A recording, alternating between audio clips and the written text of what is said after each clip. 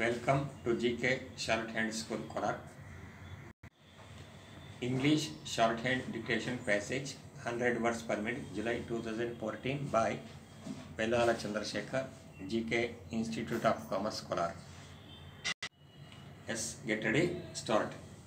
Ladies and gentlemen, it gives me great pleasure to be in your midst today and to inaugurate the seminar on the changing role of men in Karnataka.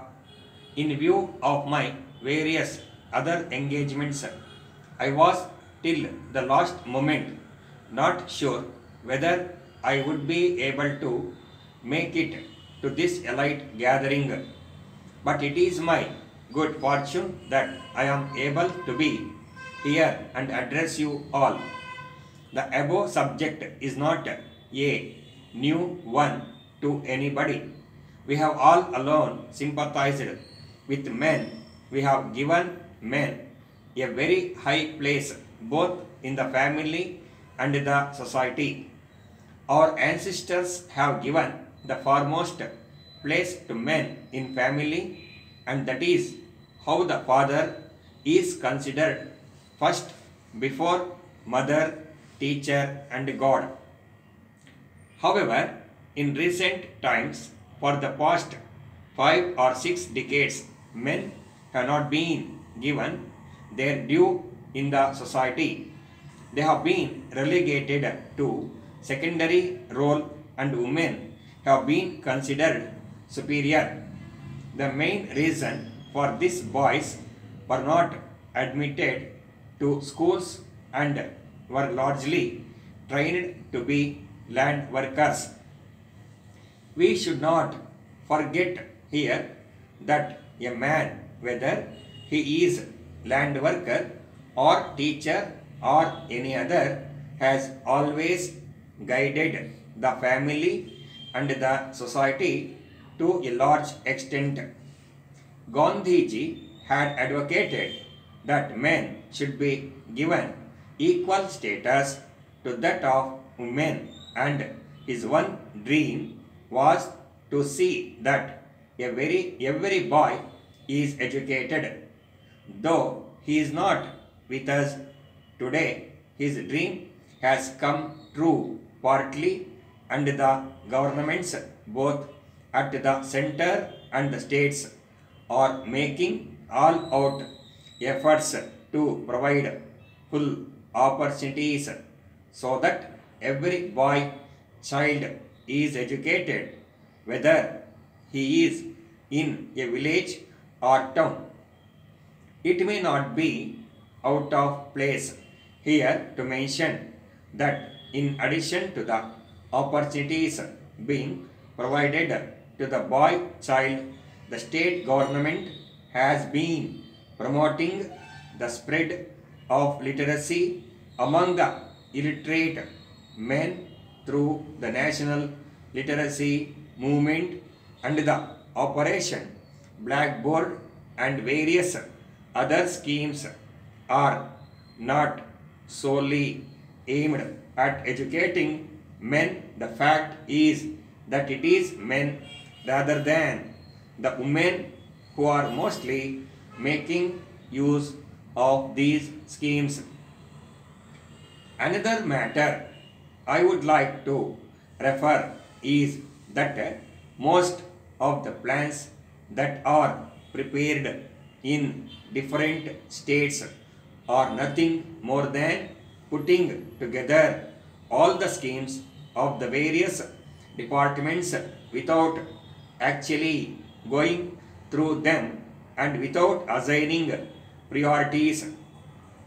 So much so we often fail to achieve the targets.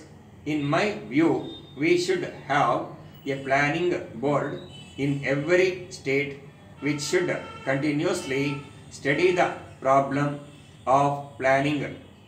Such a board should have expert scientists, technicians, engineers and economists. It should advise the cabinet from time to time regarding the priorities and resources position of each state the quantum of assistance that could be reasonably expected from the center and also the possible means of raising resources within the states. Let us understand the significance of land labor and pledge ourselves to strive for the attainment of a socialist state. Finally, I will talk about railway system, the question of railways contribution to the general revenues. It has been pointed out that the general administration is drawing too much from the railway revenues. One honorable member went to the extent of calling in exploitation. But I must say, as an economist and as a citizen of this country, that the general administration has a right to get a reasonable dividend out of the high investment in the railways. We must remember that the railways are getting their capital at a much lower rate of interest. This question was raised long ago. There were two points of view in this matter. After careful consideration, it was decided that a dividend should be given to the general revenues. After all, the contribution from the railways to the general revenues is only of the order of 25 crores of rupees. This is a very small amount when compared to the advantages the railways get from the government. I think that it would be desirable to make alterations here and there and not in regard to any matters which would affect all of us. Thank you all. Jai Karnataka. Dear sirs, we thank you for your letter dated 10th March under cover of which you have forwarded your check for rupees 1 lakh towards 30% advance payment. We have noticed that your check has been drawn in our firm name. In fact, you should have drawn the check in favor of the National Trading Company and not in our name. In future, please forward all your payments for wood supply direct to National Trading Company and also ensure that payment is made by demand draft in their favor. In this instance, we are crediting your check to our account and in turn are forwarding our own check to the National Trading Company towards advance as per copy enclosed.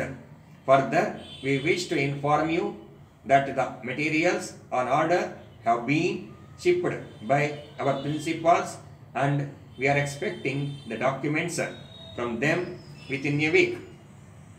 We will the necessary documents with the customs authorities and arrange for clearance and onward transmission to your warehouse.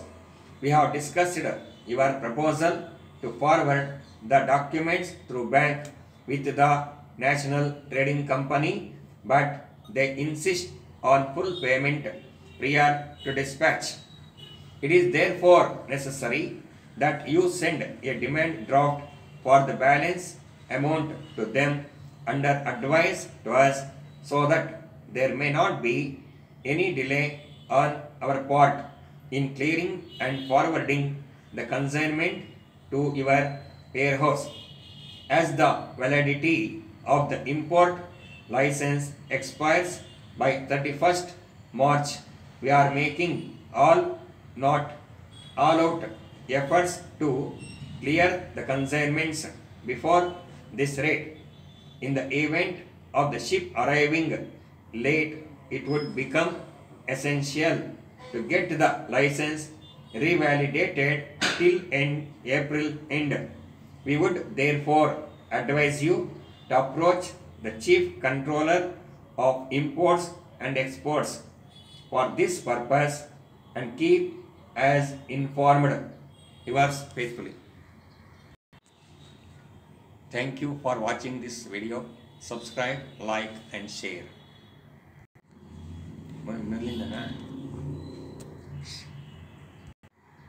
Thank you.